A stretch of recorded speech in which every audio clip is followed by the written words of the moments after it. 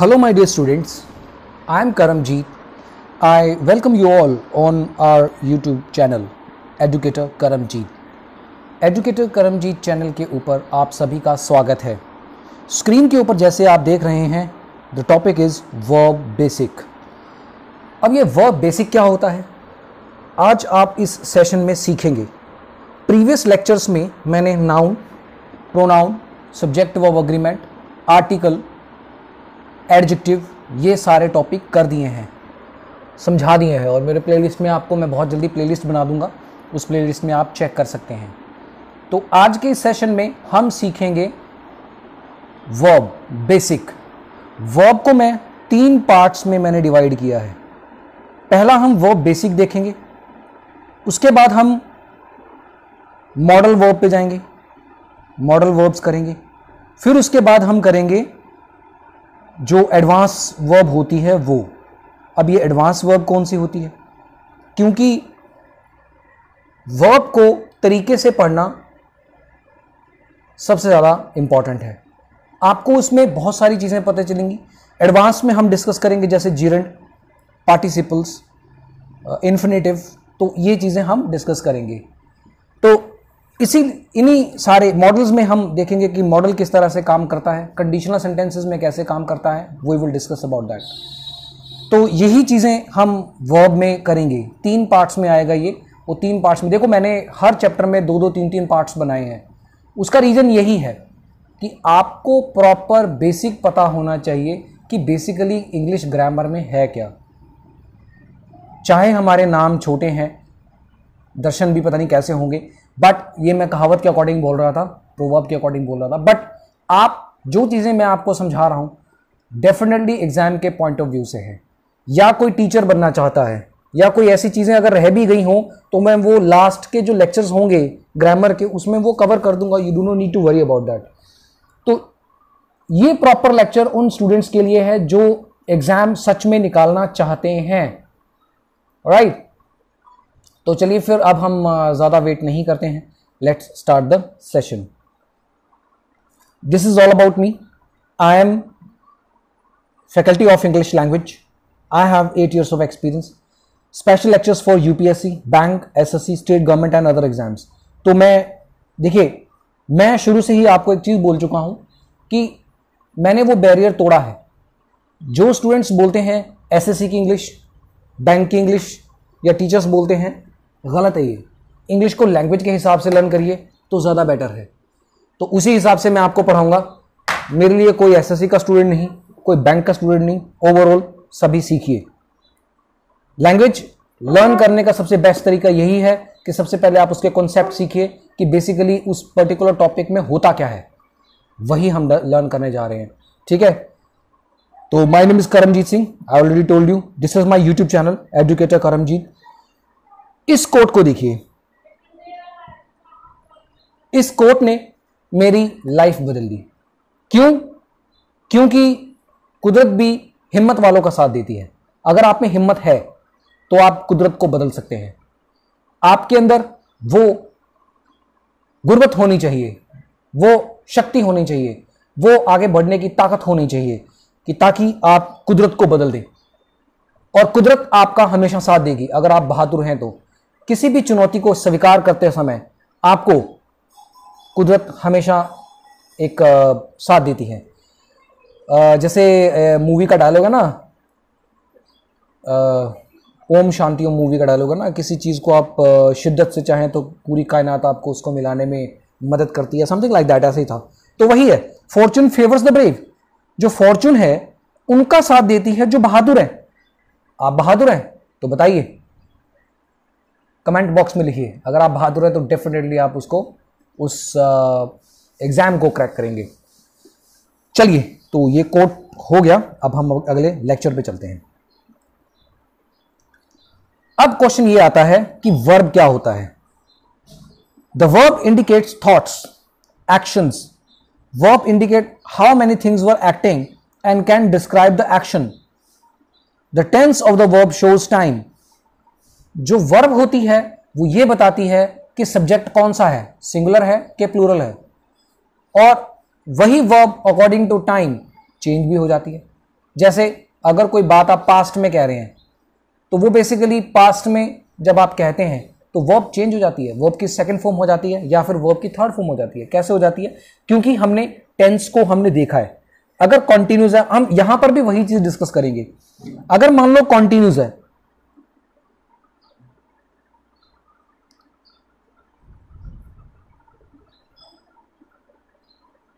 तो हमें पता है इज़ एम आर के बाद V one plus I N G आता है। अब जब जहाँ पर V one plus I N G आता है what is mean this is continuous okay यही चीज़ हम आगे डिस्कस करेंगे। वर्ब को अगर आप तरीके से समझें तो वर्ब के आगे दो पार्ट होते हैं। देखिए कैसे। उसके भी आगे सब पार्ट होते हैं। देखिए कैसे। मेन वर्ब ये थोड़ा सा डिफ़िकल्ट है, लेकिन इतना आता नहीं है। एग्ज़ाम के पॉइंट ऑफ़ व्यू से बस समझ लेना, मैं आपको समझा दूँगा, कोई दिक्कत नहीं है। ऑक्सिलरी वर्ब्स ये आपको हर बार दिखते हैं, लेकिन इनको समझने के लिए थोड़ा सा आपको डिफिकल्टी फेस हो सकती है। बट कोई बात नहीं वी विल डिस्कस तो मेन वर्ब में क्या आता है? Transitive and intransitive verbs और ऑक्सिलरी वर्ब्स में क्या आता है? प्राइमरी ऑक्सिलरी और मॉडल ऑक्सिलरी अब मॉडल से तो आपको पता चल गया होगा but we are talking about shall should will would लेकिन कैसे? वो हम आगे डिस्कस करते हैं। तो इस तरह से वर्ब को कैटेगराइज किया गया है। हम यहाँ तक जाने के लिए सबसे पहले इनको समझेंगे हम, क्योंकि ये थोड़े से डिफ़िकल्ट है। डिफ़िकल्ट इन द सेंस कि बस समझ समझ लीजिए, आपको एग्ज़ाम में वो पूछेगा नहीं कि ये ट्रांजिटिव वर्ब है कि इन ट्रांजिटिव वर्ब है। ठीक है? चलिए। बस वो उसमें गलती ढूँढने की आपसे कोशिश करवाएगा कि आप गलती ढूंढिए। मेन वर्ब में ट्रांजिटिव वर्ब की हम बात कर रहे हैं। दीज वर्ब्स टेक ऑब्जेक्ट्स इन वर्ब्स में ट्रांजिटिव में एक ऑब्जेक्ट होता है। ठीक है? These verbs tells us what the subject does to something else मतलब कोई भी सब्जेक्ट है, वो ऑब्जेक्ट के अकॉर्डिंग कैसे काम कर रहा है? स्टाइल बता रहा है। अगर मान लो, मैं आपसे ये पूछता हूँ। ही फ्लाइज काइट ये रहा। ही फ्लाइज काइट्स अब अगर मान लो मैं ये पूछूँ कि he flies kite he flies ऐसे बोलते हैं। तो इसमें जब हमारा ऑब्जेक्ट क्लियर नहीं है, वो क्या उड़ाता है? मक्खी उड़ाता है? मच्छर उड़ाता है? क्या उड़ाता है? बेड उड़ाता है? गमले उड़ाता है? क्या उड़ाता है? मीनिंग क्लियर है? नहीं है। जब मीनिंग ऑब्जेक्ट का क्लियर ना हो तो वो क्या होता है? इंट्रांजिटिव जब मीनिंग क्लियर हो जाए ऑब्जेक्ट से पता चल जाए कि वो क्या उड़ाता है तो वो क्या हो जाता है? ट्रांजिटिव वो बस, यही चीज़ आपको ध्यान में रखनी है। जब ऑब्जेक्ट के अकॉर्डिंग आपका मीनिंग क्लियर हो तो वो क्या होता है? ट्रांजिटिव जब ऑब्जेक्ट के अकॉर्डिंग ऑब्जेक्ट ना हो, उस सीधा ही बोला गया हो तो वो क्या होता है? इंट्रांजिटिव बस, इस बात का आपने ध्यान रखना है। ठीक है? तो इसमें देख लो। इधर देख लेते हैं। He talks in a rude way he talks अगर मान लो मैं ये कहूँ कि ही टॉक्स तो वो क्या होता है? वो बात करता है किसके बारे में? कैसे बात करता है? इन रूड वे क्या हो गया? एक तरह से रूड बिहेवियर, एक एडजेक्टिव है। ओके? वे क्या है? एक एडवर्ब है। तो इस तरह से in a rude way he talks in a rude way क्या हो गया? ये ऑब्जेक्ट है। तो ऑब्जेक्ट क्या बताता है कि वो रूड वे तरीके से बात करता है।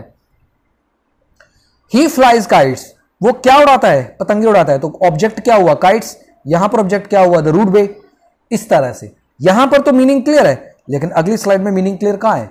He talks slowly about what किसके बारे में स्लोली बात करता है? अ बर्ड फ्लाइज कहाँ है? यहाँ पर ऑब्जेक्ट कहाँ है? एक पंछी है, वो उड़ता है। कहाँ पर उड़ता है? नीचे उड़ता है, आसमान में उड़ता है मिडिल में उड़ता है, कहाँ उड़ता है? घर की छतों पर उड़ता है। तो मीनिंग क्लियर नहीं है। तो बस इस बात का ध्यान रखना है।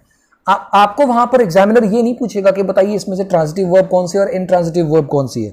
बस आपको ये ध्यान करना है कि जिस जिस वर्ब जिस सेंटेंस में ऑब्जेक्ट ना हो वो इनट्रांजिटिव है और जिसका ऑब्जेक्ट हो वो ट्रांजिटिव वर्ब है। तो passive voice is possibly when when transitive verb is comes तो जितने भी पैसिव वॉइस बनते हैं वो ट्रांजिटिव वर्ब के अकॉर्डिंग बनते हैं ऑब्वियसली क्योंकि सब्जेक्ट इंटू ऑब्जेक्ट बन जाता है और ऑब्जेक्ट इंटू सब्जेक्ट बन जाता है। तो जब वहाँ पर वो चीज़ मिसमैच होगी तो वो गड़बड़ हो जाएगी। ठीक है? चलिए। Some important points of main verbs कुछ ऐसे मेन वर्ब्स के इंपॉर्टेंट पॉइंट्स हैं, उसके बारे में भी डिस्कस कर लेते हैं। Some transitive verbs can add prepositions देखो, अब प्रपोजिशन का कितना बड़ा रोल है, ये मैं आपको आगे चल के अपने लेक्चर में समझाऊँगा, कैस, किस तरह से प्रपोजिशन का फिक्स्ड प्रपोजिशन होती हैं एक्स्ट्रा प्रपोजिशन होती हैं तो वो कैसे काम करती हैं, उनके बारे में हम डिस्कस करेंगे। Some transitive verb at preposition जैसे देखिए शी लुक्स अब she is a singular looks singular verb के साथ एसोरियस after after is what after behind on upon ये सारे क्या होते हैं? प्रपोजिशन होते हैं, हर parents don't laughed at others laughed at others कई बार ना ये इस तरह से क्वेश्चन आ जाता है, देख लो। डोंट ऑन अदर्स अब ऑन का मतलब भी पे होता है एट का मतलब भी पे होता है लेकिन किसी चीज़ के ऊपर या किसी के ऊपर फिजिकली किसी के आ, के एक्सप्रेशंस के अकॉर्डिंग जब आप बोलते हैं तो एट अदर्स आना ठीक होता है। तो ऑन अदर अगर आ जाए तो वो गलत हो जाता है। इस बात का ध्यान रखना है आपने। चलिए। Intransitive verbs can take object that are similar meaning to the verb these are called cognate objects वैसे तो नहीं आता, लेकिन कुछ our army fought a fierce fight तो कुछ ट्रांसिटिव वर्ब के साथ हम लगा सकते हैं। सम वर्ड ये मतलब ये एक तरह से यूँ कह लो कि एक्सेप्शन है। ठीक है? चलिए। Some verbs are use reflexively when the verb and the object refer to the same person जब किसी सेम पर्सन के बारे में हम बात कर रहे हैं तो उस टाइम पे एक रिफ्लेक्सिव वर्ड आ सकता है। जैसे the boy killed himself the boy ने अपने आप को मार लिया, या उसने अपने आप को ख़त्म कर लिया तो वहाँ पर रिफ्लेक्सिव वर्ड आ सकता है, कोई दिक्कत नहीं है। अब यहाँ पर देखिए ऑब्जेक्ट तो है, लेकिन ऑब्जेक्ट की फॉर्म में क्या है ये? ये एक तरह से रिफ्लेक्सिव है। और रिफ्लेक्सिव में क्या होता है? किसी प्रोनाउन के साथ, एक मिनट, ये मैं थोड़ा और डिटेल में समझा देता हूँ। किसी भी प्रोनाउन के साथ प्लस सेल्फ लगता है। जैसे हिम सेल्फ आर सेल्व्स क्यों? क्योंकि ये प्लूरल है। हिम क्या है? सिंगुलर है। और एक चीज़ और समझाता हूँ मैं आपको। अब अगर आर सेल्व्स है ना तो आर सेल्फ का इस, इसी सेल्फ का ले लो। इस सेल्फ का प्लूरल क्या हो जाएगा? सेल्व्स हो जाएगा। इस बात का आपने ध्यान रखना है। वहाँ पर अगर ये सेंटेंस में क्वेश्चन आता है, अगर मान लो सेंटेंस पूरा लिखा हो, वहाँ पर प्लूरल की बात कर रहे हो तो कई बार मान लो इस तरह से लिखा हो, देखो। एक मिनट मैं इसको थोड़ा सा मैं रब कर देता हूँ। यस कर ही देते हैं, कोई बात नहीं। आपने पॉज पॉज कर लेना उसको, देख लेना, ठीक है? अगर मान लो सेंटेंस प्लूरल की बात कर रहा हो तो ऐसे लिखा हो देयर सेल्फ तो ये गलत है। क्यों? क्योंकि ये सिंगुलर है और ये प्लूरल है। ये मिसमैच हो गया, है ना? तो इसकी जगह पर आप क्या कह सकते हैं? देयर सेल्व एब्सोल्युटली करेक्ट ये ये छोटे छोटे क्वेश्चंस हैं। डिस्क्राइब करते टाइम आपको मैं थोड़ा टाइम लग सकता है। बस आप सुन लीजिए इनको। सुनने में ही मैं, देखिए मैं, अगर आप अलर्ट हैं असर्टिव हैं पॉजिटिव हैं तो आप इन छोटे छोटे क्वेश्चनों को देख के ही आपके आंसर डेफिनेटली आप करेंगे। एक सेशन मैं लेके आ रहा हूँ आप सब लोगों के लिए, जो आजकल तैयारी कर रहे हैं बच्चे, उनके लिए एक थोड़ा मॉडरेट टाइप के क्वेश्चन मैं लेके आ रहा हूँ। बहुत जल्दी पीडीएफ तैयार है, बस रिकॉर्ड ही करना है उसको। जल्दी ही आ जाएगा। ठीक है? चलिए। लिंकिंग वर्ड्स कौन से होते हैं? वर्ब्स कौन से होते हैं? देखिए। Linking connect a subject to a subject com, complement, which identifies और डिस्क्राइब द सब्जेक्ट वो वाले लिंकिंग वर्ड्स होते हैं जो जैसे किसी को कनेक्ट करते हैं। जैसे देखो the dress is blue is blue is क्या है? लिंकिंग वर्ड है। The house was of white until until क्या हो गया फिर ये? लिंकिंग वर्ड हो गए लिंकिंग वर्ब्स हो गए, ठीक है ना? जैसे अब द हाउस वॉज़ अब ये वाले क्या हो गए? वॉज़ इसके अकॉर्डिंग बोल रहा है वो। और ये वाला वॉज़ ये वाला पेंटेड क्या हो गया? वर्ब इसके अकॉर्डिंग बोल रहा है। तो ये लिंकिंग लिंकिंग वर्ड्स के साथ वर्ब्स का काम करना, ठीक है? सम कंफ्यूजिंग वर्ब्स अब टू ले और टू लाए में क्या फ़र्क है? यही बच्चों को दिक्कत आती है। लाए का मतलब झूठ बोलना और ले का मतलब लेट जाना किसी के ऊपर। सरफेस के ऊपर लेट जाना। जैसे to lay it is a transitive verb which takes an object okay late गया कहाँ पर?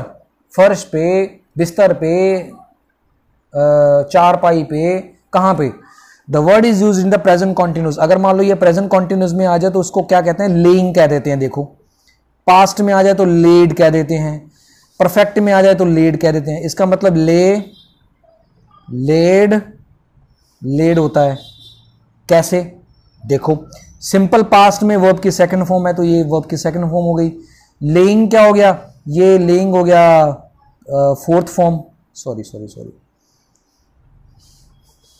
ये हो गया फोर्थ फॉर्म और फिफ्थ फॉर्म की होगी। लेज, है ना? वो ये वी वन हो गई, ये वी थ्री हो गई। इस तरह से। अब हैज़ के साथ लेड आ रहा है तो ये लेड हो गया। इस तरह से। आपको याद होगा, मैंने एक टेंस का सेशन लगाया था। उसमें वर्ब की मैंने पाँच चीज़ें बताई थी। जैसे डू एक मिनट, इसको अगर आप, इसको आप स्क्रीनशॉट ले लो। मैं पाँच सेकंड देता हूँ आपको। स्क्रीनशॉट ले लो पॉज करके।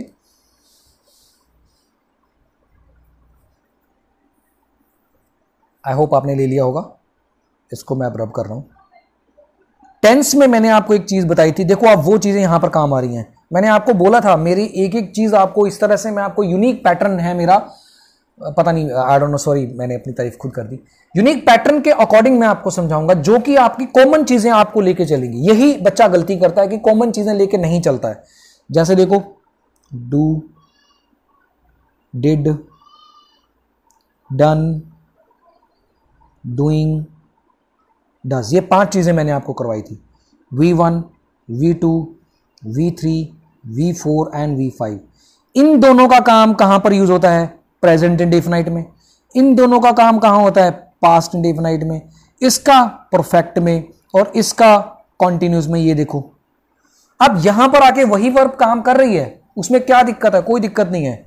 ओके आगे पढ़ते हैं, देखो। अब लाई की बात करते हैं। देखो प्रेजेंट कॉन्टिन्यूस में लाई कैसे आएगा? ये इंट्रांसिटिव वर्ड है। वो क्या था? वो ट्रांसिटिव वर्ड है। ट्रांसिटिव इसके लिए ऑब्जेक्ट चाहिए इसके लिए ऑब्जेक्ट की ज़रूरत नहीं है। चाहे करो, चाहे ना करो, ये आपकी with doesn't take an object कोई दिक्कत नहीं है। He is lying on the sofa simple past he lay simple past लाए ले ले होता है। लाए ले लेन होता है सॉरी लाए ले लेन देखो, मैं बताता हूँ आपको। लाए ले लेन। अब देखो, लेन और लेड में कितना फ़र्क हो गया? तो यहाँ पर लेड हो गया, लेन हो गया परफेक्ट की सेंस में। बस मतलब कुछ कंफ्यूजिंग करने वा कंफ्यूजन देने वाले वर्ड्स ऐसे होते हैं जिनको हमें अच्छे से ट्रीट करना होता है। ऐसे ही टू राइज में आता है। टू राइज का रेजिंग हो जाएगा।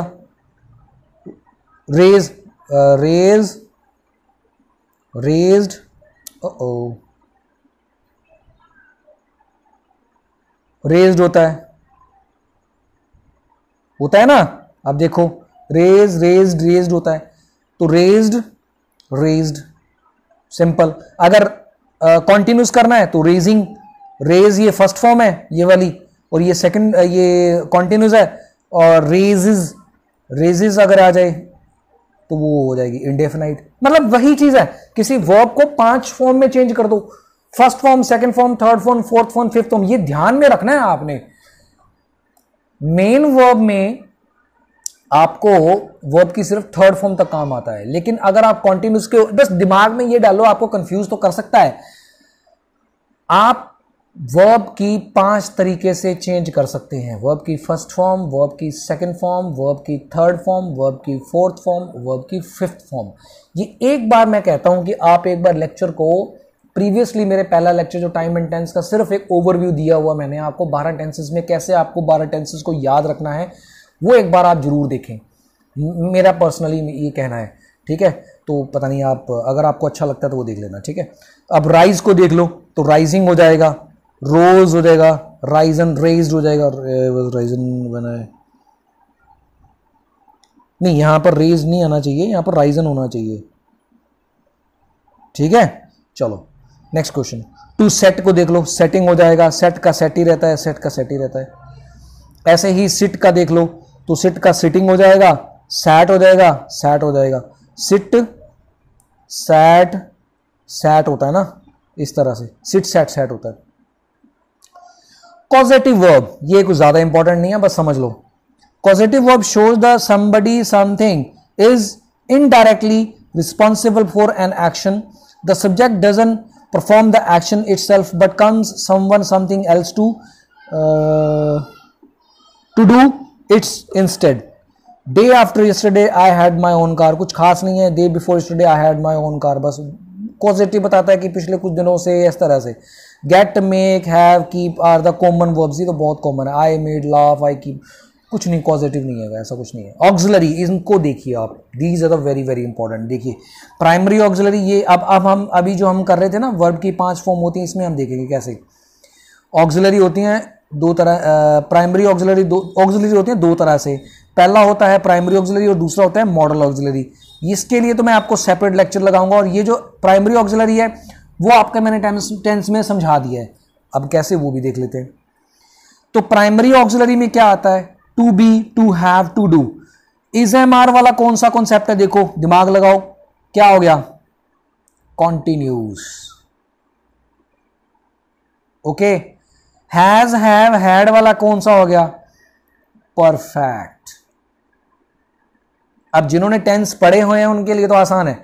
और डू डज डिड क्या हो गया?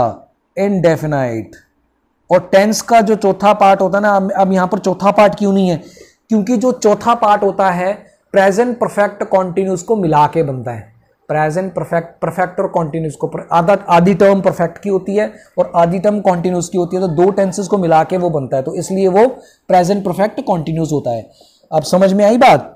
तो इसलिए जो चौथे टेंस को यहाँ पर शामिल नहीं किया होता है, क्योंकि उसमें एक टर्म टू हैव की होती है और एक टर्म कॉन्टिन्यूस की होती है। आप present perfect continuous tense past perfect continuous tense future perfect continuous tense को उठा के देख लो, आपको चीज़ें समझ में आ जाएँगी। देखो, अब अब थोड़ा सा इसको और हम डिस्कस कर लेते हैं। अगर हम बात करें इसकी, पहले हम इसके टू डू की करते हैं, क्योंकि इंडेफिनाइट है, क्योंकि टेंस का पहला हिस्सा ही इंडेफिनाइट है। जब हम टू डू करते हैं तो उस केस में हम क्या करते हैं?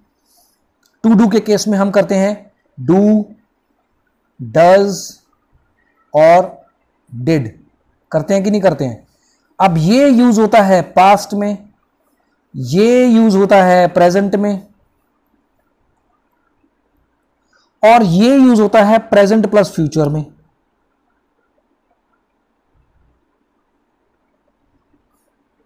क्यों? समझ में आई बात? ये दोनों चीज़ें डू है प्रेजेंट में भी है। अब ये थर्ड पर्सन प्लूरल हो, तब हम यूज़ करते हैं। या फ्यूचर इंडेफिनाइट में सिंगुलर हो चाहे प्लूरल हो, तब यूज़ करते हैं। अगर आप टेंस उठा के देखोगे तो समझ में आ जाएगा। डज को यूज़ करते हैं थर्ड पर्सन सिंगुलर में, सिर्फ़ और सिर्फ़ प्रेजेंट इंडेफिनाइट में फ्यूचर इंडेफिनाइट में नहीं करते। अगर मान लो हम ऐसे लिखें विल के साथ डज लगाते हैं तो वो गलत हो जाता है। क्योंकि टेंस को उठा के देखिए आप। टेंस को देखिए, वहाँ पर क्या आएगा? डू आएगा या वर्ब की फ़र्स्ट फॉर्म आएगी। तो ये तो यही हो गया, चाहे वो सिंगुलर है, चाहे वो प्लूरल है। दे विल भी आ सकता है ही विल भी आ सकता है। ये मैं आपको आगे चल के समझाऊँगा। मेरी चीज़ें समझाने में थोड़ी टिपिकल लग सकती है, क्योंकि हम लोग वाइट बोर्ड पे नहीं कर रहे हैं ना तो ये थोड़ा सा आपको डिफ़िकल्ट लग सकता है। बट अगर आपने टाइम डिवोट कर लिया इस चीज़ में तो डेफिनेटली आपने आधी बैटल तो वैसे ही जीत जाएँगे आप। सीरियसली कह रहा हूँ मैं आपको। जो तरीका मैंने आपको समझाया ना सिंपल से सिंपल भी तरीका आपको अगर मेरे में लगता है, आप पॉज कर करके एक बार नहीं, दो बार नहीं, दस बार देखिए, पचास बार देखिए, और डेफिनेटली गारंटी वारंटी कह लो, आपको ज़रूर चीज़ें आएँगी। मैं दावे के साथ कहता हूँ, अगर आपने इस कॉन्सेप्ट से समझ लिया थोड़ा सा डिफ़िकल्ट ज़रूर लगेगा, लेकिन समझ में आ जाएगा। तो ये था टू डू का कॉन्सेप्ट एक मिनट, अब हम टू हैव की बात करते हैं। नहीं टू बी की बात करते हैं। कॉन्टिन्यूस आता है ना उसके बाद? To be. देखो कैसे। टू बी में क्या आता है? Was were is am are ठीक है? बी भी आता है कई बार। बी भी लगा लो, कोई बात नहीं। टू बी आई गया ना, टू बी तो वही हो गया। अब देखो, इनके साथ हम क्या लगाते हैं? अब कॉन्टिन्यूस का टर्म है। तो कॉन्टिन्यूस में हमारे दिमाग में क्या आता है? V one plus I N G बस। यही दिमाग में रखना। तो V one plus I N G के बाद क्या आता है? कुछ भी नहीं। कॉन्टिन्यूस की टर्म है।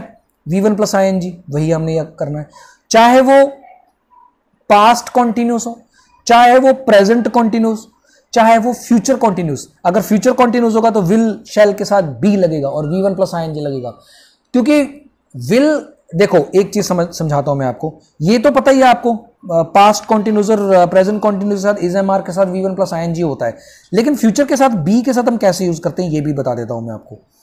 ये मैं आगे टर्म समझाऊँगा मॉडल में, वैसे मैं यहाँ पर भी समझा देता हूँ। क्योंकि जो मॉडल होता है, देखो विल और शेल जो होते हैं, ये मॉडल वर्ब होते हैं। अब इज़ एम आर के साथ तो V one plus I N G लगा सकते हैं, लेकिन ये मॉडल वर्ब के अकॉर्डिंग काम करती है। इसके लिए एक वर्ड ऐसा होना चाहिए, जो ये शो करे कि ये कॉन्टिन्यूस है। इसलिए यहाँ पर बी लगाया जाता है। वैसे तो मॉडल के साथ हम वर्ब की फ़र्स्ट फॉर्म भी लगा देते हैं थर्ड फॉर्म भी लगा देते हैं, है ना? लेकिन थर्ड फॉर्म के साथ हैव आना चाहिए, ये मैं आगे जब समझाऊँगा समझाऊँगा आपको जब हम मॉडल करेंगे। तो इस तरह से ये हो गया टू बी वाला केस और टू हैव की बात कर लेते हैं अब हम। गाइज़ अगर आपको डाउट है ना तो you can you can send me text message और कमेंट बॉक्स में मुझे बता दीजिए अगर आप लर्न कर रहे हैं तो। अभी मैं नौ सीखिया हूँ यूट्यूब के ऊपर, पढ़ाने में नहीं, नौ सीखिया हूँ यूट्यूब के ऊपर। बहुत जल्दी मैं आपको ऐसे ऐसे सेशन लेके आऊँगा।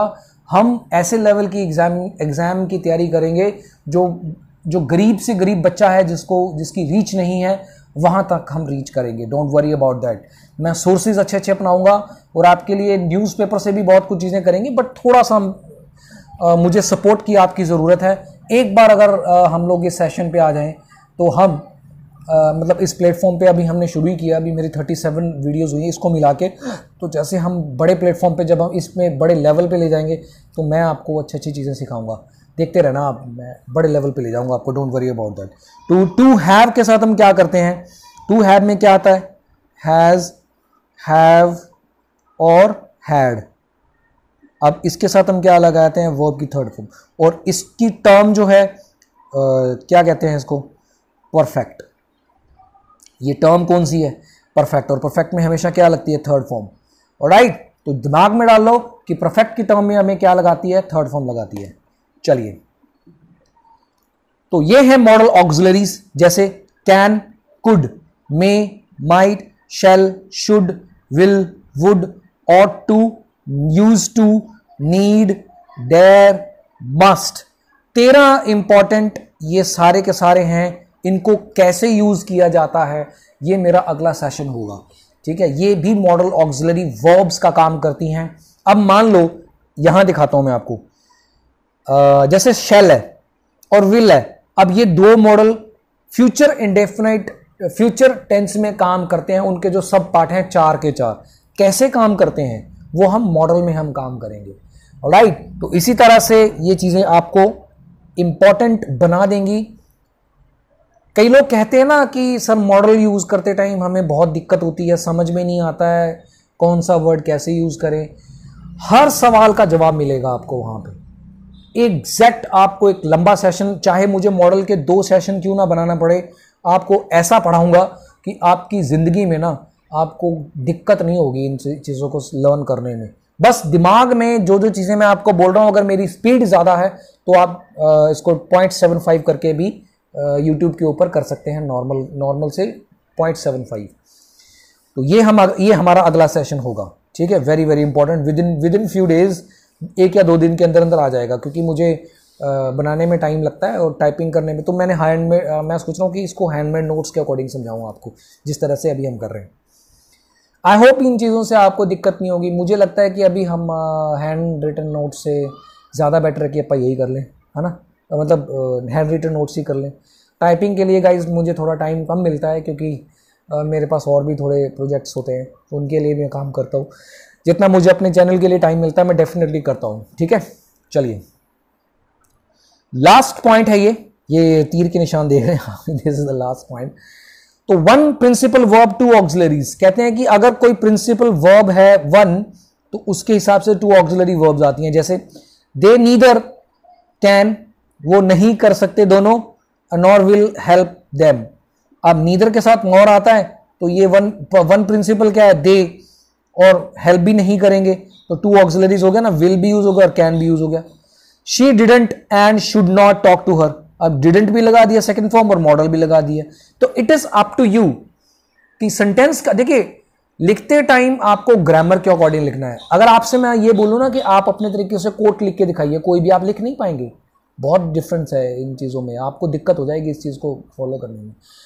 तो मेरा जो सेशन है थोड़ा सा डिफ़िकल्ट लग सकता है आपको, लेकिन इम्पॉसिबल भी नहीं है। एक बार नहीं, दो बार नहीं, जो टर्म्स मैं बोलता हूँ कई बार इंग्लिश के अकॉर्डिंग उस टर्म्स को आप समझिए और उसको आप सॉल्व करने की कोशिश करिए।